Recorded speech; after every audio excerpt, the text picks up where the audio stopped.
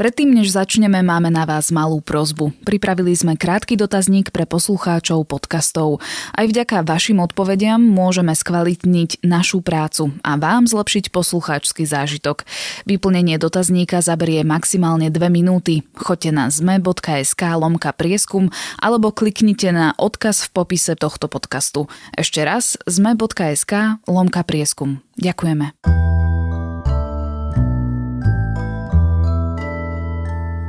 Je štvrtok, 28.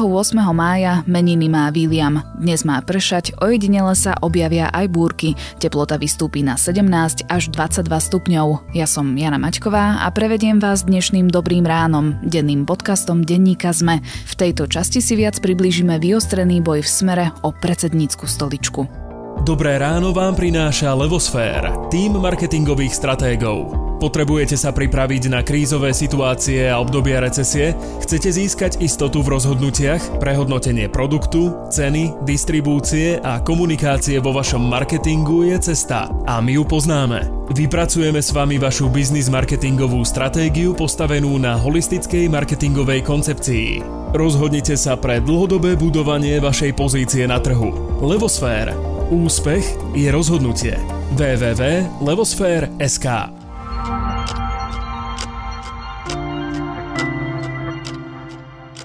Najprv sa však pozrime na krátky prehľad správ.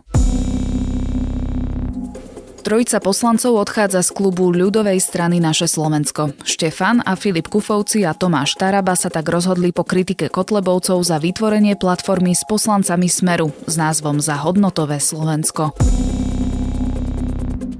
9. ročníky základných škôl by sa mohli zrušiť. Minister školstva Branislav Gröling tvrdí, že pre ne dochádza k nerovnostiam pri žiakoch hlasiacich sa na bilingválne školy. Niektorí totiž nastupujú na gymnázia z 8. iní z 9. ročníka.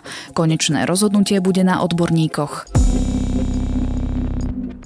Konzílium odborníkov dalo na začiatku týždňa predbežný súhlas s obnovením leteckej dopravy v obmedzenom režime. Definitívne o tom musí rozhodnúť ústredný krízový štáb. Minister dopravy Andrej Doležal tvrdí, že by mohlo zatiaľ ísť o nepravidelnú prepravu do 20 osôb. Kedy sa na Slovensku skončí núdzový stav, nie je jasné. Premiér Igor Matovič nevylúčil jeho prípadné prerušenie počas leta a opätovné vyhlásenie na jeseň. Núdzový stav pre nemocnice vláda vyhlásila 16. marca, následne ho rozšírila aj o ďalšie oblasti. Cyprus preplatí pobyt každému turistovi, ktorému zistia koronavírus počas dovolenky v krajine. Pacienti si budú musieť uhradiť len prepravu na letisko a let domov. Pre pozitívne testovaných má Cyprus vyčlenenú nemocnicu so 100 lôžkami a hotel s 500 izbami. Viac podobných správ nájdete na zme.sk.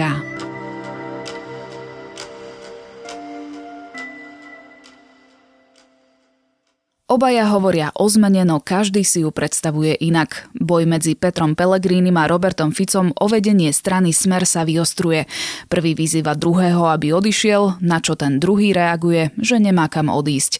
Čo sa deje v strane, ktorá mala roky najsilnejšiu voličskú podporu a ako môže vyzerať smer bez Roberta Fica?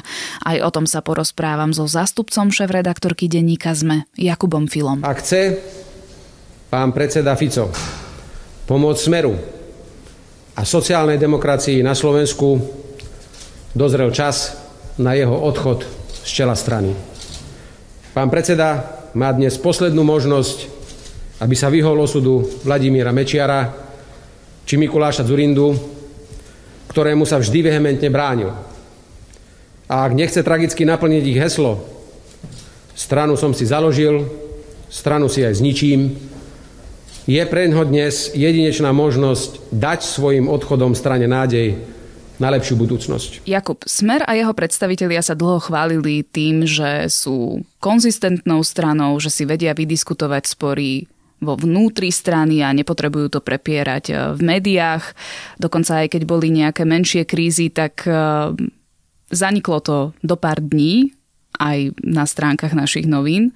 Teraz je však situácia úplne iná. Čo sa zmenilo? No základ sa zmenil v tom, že Fico má prvýkrát v histórii reálneho vyzývateľa. Lebo keď si hovorila o, o nejakých sporoch alebo rozbrojoch minulosti, tak to boli veľmi nepremyslené partizánčiny veľmi slabých členov Smeru. Spomeňme si na Košickú zboru z minulého, z minulého roka. To bola proste akože nevýrazná vec ako keby. Hej. A navyše Robert Fico vždycky si zakladal na tom, že si vedel ten smer upratať. On dokonca, ak si aj pozrieme sa napríklad na jeho hlasných kritikov z minulosti, hej, alebo ľudí, s ktorými mal rozbory, napríklad europoslankyňa Monika Beňová, tak on vždycky tým ľuďom vedel, ak, ak sa s nimi neporátal zásadným spôsobom, tak e, vždycky si ich vedel udržať tú ich lojalitu nejakým, nejakým postom. No. Ale v tomto momente sa zmenilo to, že ide o priamy súboj o predsednícku stoličku Smeru, teda o to, aký bude smer budúcnosti a o to, že či ten smer zostane jednoliatou stranou. Čo bol vlastne ten bod zlomu pri Petrovi Pelegrinim? Lebo stále sme ho vnímali ako niekoho, kto je na strane Roberta Fica, kto je pri ňom. Robert Fico ho aj nominoval do viacerých funkcií ako náhradníka. Zdá sa, že mu dôveroval plne. Kde nastal ten zlom, alebo kde nabral toľko seba dôvery, že si povedal, že môže byť silným súperom voči Ficovi. Ten zlom nastal 21. februára 2018 a vo všetkých tých dňoch, ktoré sa akože udiali potom, lebo vražda Jana Kuciaka a Martiny Kušnírovej v podstate bola takým zásadným milníkom v živote tejto krajiny a teda aj v živote politickej reprezentácie, ktorá ju vtedy viedla, teda Smeru, že, že bolo jasné, že musí dôjsť k zásadným zmenám.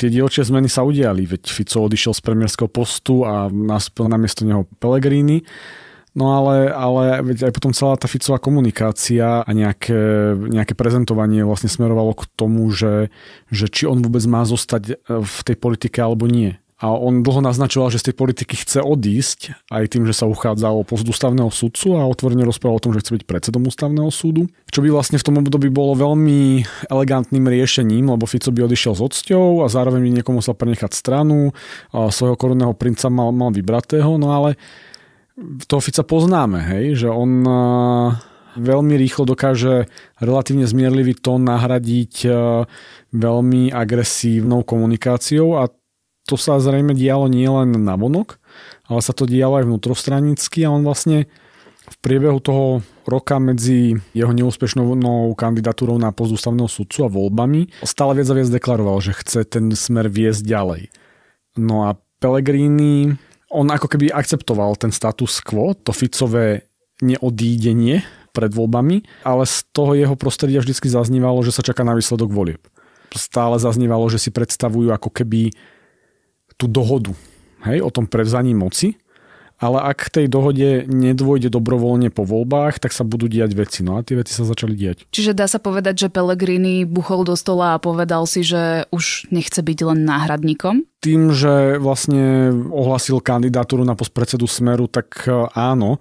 Neviem, či by som to nazýval buchnutím do stola, lebo na buchanie do stola treba mať silu a my len dnes zistujeme, že kto vlastne akú tú silu má. Tým, že ten smer bol vlastne dlhé roky pri moci a bol dlhé roky pomerne homogénny, tak e, bolo veľmi ťažké do ňoho prenikať. Tí ľudia nechceli častokrát rozprávať a keď rozprávali, tak to boli také polovičaté informácie a my sme vlastne nikdy nevedeli úplne jasne si nakresliť tú stranickú mapu smeru. Hej. Nevedeli sme, uh, aké sú tam krídla, ktoré krídlo je silnejšie a či vôbec nejaké sú. Hej. A vždy boli nejaké informácie o bojoch nejakých skupín a záujmových a sponzorských a neviem ako. No ale doteraz vlastne do poslednej chvíle nebolo jasné, že, že kto je Pellegriniho krídlo a kto s ním do toho odboja pôjde. To sme sa dozvedeli v podstate až v útorok, keď sa vlastne po jeho boku na tej tlačovej konferencii objavila Denisa Saková, Richard Raš alebo Peter Žiga. No a zrazu ako môžeme začať analyzovať, že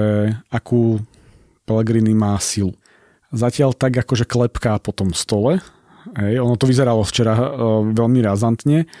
No ale že či si bude môcť dovoliť buchať na stôl, po stole aj na sneme, tak to ukážu najbližšie týždne. Fico na Pellegriniho výzvu, aby odišiel z čela strany, nereagoval, ale ešte predtým mal tlačovku a samozrejme týždne, mesiace dozadu mal veľa vyjadrení, že nikam neodchádza. Na druhej strane tá narážka, že dopadne ako Mečiar alebo Zurinda, toho muselo celkom zasiahnuť. To neviem, či ho zasiahlo. Myslím si, že Fico vo svojom stave medzi jednou tlačovkou a druhou tlačovkou v týždňovej periodicite neviem, či vo veľkej miere pociťuje akékoľvek narážky, je zase zamestnaný inými vecami. Ale... Ale je to niečo, čo sa asi neodpúšťa. To je taká tá vec, že Fico si pred 20 rokmi založil stranu. A tá strana, ako povedal v útorok na tej tlačovej konferencii, je jeho dieťa. A on to tak vníma. A, a my sme sa v tom slovenskom politickom priestore ako keby sa tí predsedovia strany nevedia zbaviť tohto odcovstva. Hej? A to sa stalo presne aj Mečiarovi a to sa stalo presne aj Zurindovi, paradoxne, že sa oni nevedeli zbaviť toho odcovstva k tej svojej strane, k tej svojej firme, k tomu svojmu dieťaťu. Lebo jasné, že ho piplali od začiatku a dosiahli nejaký úspech, hej, a teraz im niekto povie, že no a pakuj sa odtiaľ to preč. Veď, a, akože, veď skúsme si sa aj my do toho vžiť, hej, že, že 20 rokov si pipleme nejaký projektík a potom príde niekto, hej, a povie nám, že no a teraz odíť tak tá reakcia je pomerne prirodzená, hoci v politike je zhubná. A v politike to vlastne ukázal Mečiara Zurinda, že no hold, ako, a teda aj príbehy HZD za SDK, že kam to dospeli. Zurinda nakoniec bol ochotný odísť, ale už bolo neskoro. A teraz sa ukáže, že či ten Fico je ochotný odísť, ešte v čase, kedy sa ten smer dá zachrániť, veď stále je silnou stranou, ale ak to neurobi, tak sa začne štiepiť, no a, a ako podľa mňa tá Ficovská časť začne upadať. Dobre, tá rukavica bola hodená. Čo teraz? Predpokladám, že nemôžeme očakávať e, nejaké vzdanie sa samotného Fica, postu predsedu? Zatiaľ všetko ukazuje, že nemôžeme očakávať vôbec, aby sa Fico zdával. On proste chce mať tú moc a asi to deklaruje. V každom prípade akýkoľvek nový predseda vzíde zo snemu. A ten snem smerem zvoláva predsedníctvo raz za dva roky, alebo mimoriadný snem môže zvolať 5 krajských centrál. Predsedníctvo má 15 členov a z neho desiati asi, hej, ale asi desiati sú Ficovi ľudia. Takže cesto Pelegrini nový snem nepretlačí. A môže ho pretlačiť ehm, pomocou piatich krajských centrál. Už mu podporu vyjadrila Banská Bystrica, Richard Raši, ktorý ide s ním, je predsedom krajského Košeckého kraja a špekuluje sa, že, že nejakú podporu má Pellegrini aj, aj v Prešove, aj prípadne v Trnave, otázny je taký Trenčín. Takže teoreticky môže ten s byť skôr.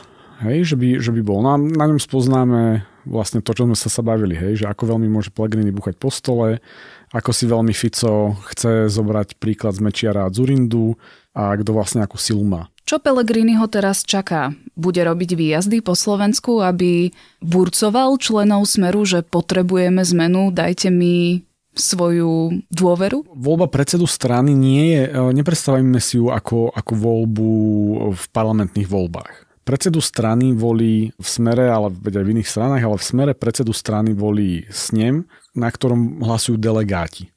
A týchto delegátov väčšinou na základe nejakého kľúča, v smere sa to volá, že organizačný poriadok, vyberá predsedníctvo. Hej, oni majú samozrejme nejaké zastúpenie regionálne, ale napríklad v smere funguje niečo ako inštitút zakladajúceho člena s hlasovacím právom, to je zhruba 50 ľudí, ktorí zakladali ten pôvodný smer e, na prelome storočí, pred 20 rokmi. A týchto delegátov môže vyberať, e, alebo teda bude mať na ich výber veľký vplyv Fico. Hej? Takže Pellegrini môže behať po Slovensku a môže presviečať strany. On to bude chcieť urobiť. On, on ak to chce dohrať a nechce z toho smeru odísť len tak, že sa zdvihne, že odchádza, tak on musí zahrať tento part. On si musí dať tú námahu, musí presadiť ten snem v nejakom momente, na tom sneme kandidovať a odísť a ak neúspeje, tak ale bude odchádzať s tým, že on chcel vyhodiť toho Fica a ten zlý Fico sa tam drží zubami nechtami a preto on odchádza, aby ponúkol alternatívu. Žiadnu inú možnosť nemá.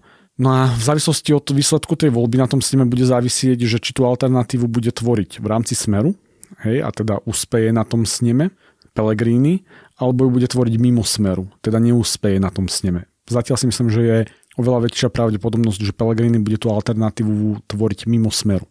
Ak si pozrieme jeho komunikačné kroky, PR aj na Facebooku, aj stránku, tak vlastne všetko nasvedčuje tomu, že sa pripravuje na túto alternatívu. Akože ráta s ňou ako jedno, nehovorím, že s jedinou hlavnou, ale ako s jednou z dvoch hlavných možností. Veď práve, že komunikuje svoju osobu napríklad e, aj tým, že už nedáva logo Smeru ku svojej fotografii alebo nekomunikuje v podstate tú stranickú politiku len v rámci Smeru. Presne tak, no ale na druhej strane to pokušenie ako získať stranu s regionálnymi štruktúrami, hoci 20 rokov riadenú Ficom a poznačenú a akože zašpinenú no, s tým názvom, s majetkom, so štruktúrami a teda ako tiež môže byť lákadlom, veď to samo o sebe má, má nejakú hodnotu, to je vlastne ako zabehnutá firma. Je to určite jednoduchšie ako postaviť niečo na zelenej lúke. V prípade Smeru ťažko povedať, hej, ale ako vravím, on tam má tie dve možnosti, hej, že on si proste ako ráta aj s možnosťou, že ten Smer prevezme, a potom sa bude musieť ale porátať s Ficovými ľuďmi, takže to môže byť ešte veľmi zaujímavé. Tam sa zase môže stať, že sa odtrhnú nejaká iná časť toho smeru. Alebo on ten boj prehrá, zahrá to divadlo, zahrá tú rolu, ktorú proste zahrať musí a odíde s pompou, že on teda odmieta všetky praktiky Smeru a Roberta Fica a chce ponúknuť e, voličom ako novú alternatívu voči tejto fuj fuj strane. Skúsme si teda predstaviť scenár, že Pellegrini ten boj prehrá príde k štiepeniu smeru, Pelegrini si založí novú stranu, pravdepodobne s ním odídu aj teraz jeho priaznivci, ktorí sa mm, za ňo stávajú aj e, pri mediálnych výstupoch. Čo by to znamenalo pre smer? A druhá otázka, aký by mal projekt Pelegriniho šancu u terajších voličov Smeru. Čo by to znamenalo pre Smer? Zásadné rozštiepenie jeho volickej podpory keďže Pellegrini za tie dva roky sa stal v podstate najpopulárnejším politikom Smeru. Netrúfam si odhadnúť nejaký, nejaký presný pomer, hej, ale keď má teraz Smer proste 20%, tak jeden z tých subjektov by sa pohyboval pod 10 a druhý by sa pohyboval na 10, hej. To je asi, tak matemati- matematicky to tak tuším vychádza. Pre smer ako taký by to hodnotovo znamenalo ešte väčší príklon, hoci on tam už dosť je k takej tej, že keď poviem teraz národno-socialistickej, tak to nemyslím akože NSDAP, ale akože k tej národnej, nacionálnej politike. Netrúfam povedať, že niečo ako bolo HZDS, no ale proste ako oveľa viac, oveľa viac vlastne príklon ešte, ešte k takému tomu ľudáckému. A podľa mňa, akože čo si treba pripomínať je, že akože rozpad smeru by pokračoval. To už by bola definitívne tá trajektória HZDS. Ďalšie volebné obdobie by tá strana prežila.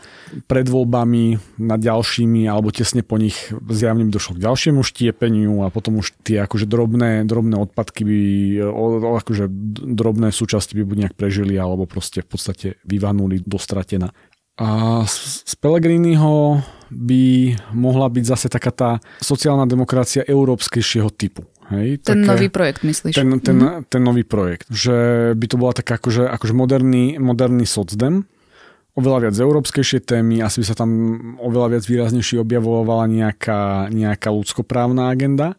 Veľmi by, bol, veľmi by záviselo, že koho by k sebe nabalili ďalej, lebo predsa len akože Raši, Žiga, nie to sú, sú zrovna, tváre. sú to mhm. vlastne akože svojím spôsobom staré tváre smeru, len ako keby to nechcem dávať zároveň, lebo aj my ako novinári budeme, akože bude pred nami tá voľba si povedať, že, že ktorá z tých alternatív je lepšia a v zásade sa asi dneska zhodneme, že každá alternatíva bez Fica je lepšia a oni budú musieť dokázať, akýkoľvek nový Pellegriniho projekt nový, bude musieť dokázať, či je to lepšia alternatíva so starými tvárami, ako je Rašia Žiga. V podstate aj sám so sebou sa mu to bude dokazovať ťažšie, no ale my nie sme jeho cieľovka. Ten Pellegrini si získal veľkú popularitu u voličov Smeru, takže bude veľmi zaujímavé sledovať, že vlastne kto sa k nemu z, z tej voličskej základne prikloní. Ako to by si trebalo normálne naprieskumovať, len tam by sme už potom naozaj videli, že, že ako by sa delil ten elektorát. Na záver dám takú otázku na štýl kolegu Tomáša Prokopčáka. Budeme trošku veštiť. Kde bude Robert Fico takto o rok? V tréme Mariana Kočnera je taká, taká veta a píše ju Marian Kočner, žiaľ Bohu nepíše ju nikto z prostredia Smeru, ale Marian Kočner hovorí, že troška mi napísala, že Fico je násumračné a pije dve flaše koniaku denne a na všetko. Akože asi si nemyslím, že Marian Kočner bol nejaký zásadný vizionár v tomto smere, ale informácie z prostredia Smeru za to posledné obdobie hovoria o tom, že Robert Fico má dosť veľa čo robiť e, sám so sebou. A myslím si, že štiepenie strany toho jeho dieťatka, o ktorom sa rozprávali na začiatku, bude dnes veľmi ťažko. A môže ho to uvrhnúť ešte na rozvyklanejšiu trajektóriu, ako je v súčasnosti. O súboji v smere, ktorý budeme určite napínavo sledovať aj v rámci nášho denníka ZME, som sa rozprávala so zástupcom šéf-redaktorky denníka ZME, Jakubom Filom. Samozrejme, že sme dotrhaní, unavení a my potrebujeme nových bojovníkov, ale bojovníkov. Nie teoretikov a slniečkárov. Bojovníkov, ktorí sa jednoducho vedia postaviť na barikádu a pôjdu a budú bojovať.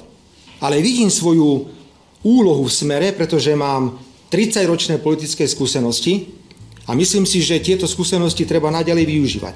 Ale pustíme dopredu ľudí, ktorí chcú v smere pracovať. To je tá zmena, o ktorej ja hovorím a som na ňu pripravený, lebo chcem lepší a silnejší smer.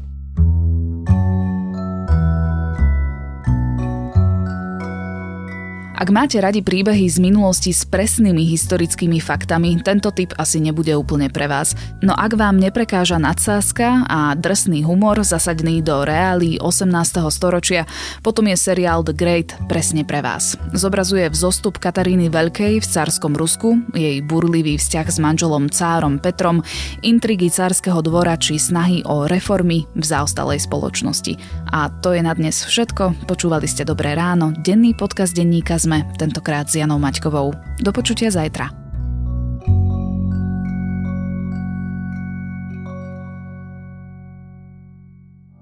Dobré ráno vám priniesol Levosfér, tým marketingových stratégov. Postarajte sa o dlhodobý rast vášho biznisu a kontaktujte nás. Levosfér. Úspech je rozhodnutie. www.levosfér.sk